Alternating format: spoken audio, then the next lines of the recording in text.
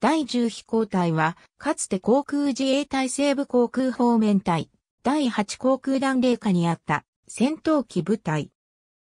最後の F-86F 飛行隊として1962年にニュータバル基地で新編され、1964年に追記基地へ移動し1977年に兵隊した。第10飛行隊は F-86F 飛行隊として1962年1月8日に宮崎県ニュータバル基地第5航空団霊下として新編された。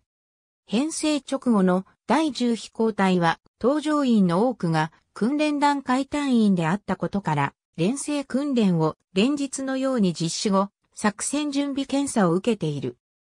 第10飛行隊は第6飛行隊と共に洋撃戦闘任務を行ったが第202飛行隊の新編に伴い追記基地への移動が決定し1964年2月1日に追記基地へ移動して西部航空方面隊直轄飛行隊として編入された。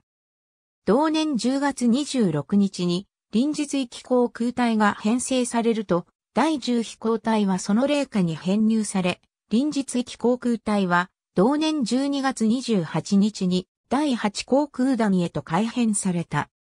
第10飛行隊は F-4EJ 飛行隊である第304飛行隊の編成に伴い、1977年4月1日に兵隊した。ありがとうございます。